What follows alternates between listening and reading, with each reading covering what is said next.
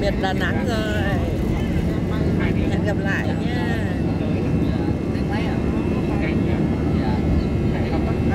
Hoàng hôn núi rừng và thành phố Đà Nẵng. Hãy subscribe cho kênh Ghiền Mì Gõ Để không bỏ lỡ những video hấp dẫn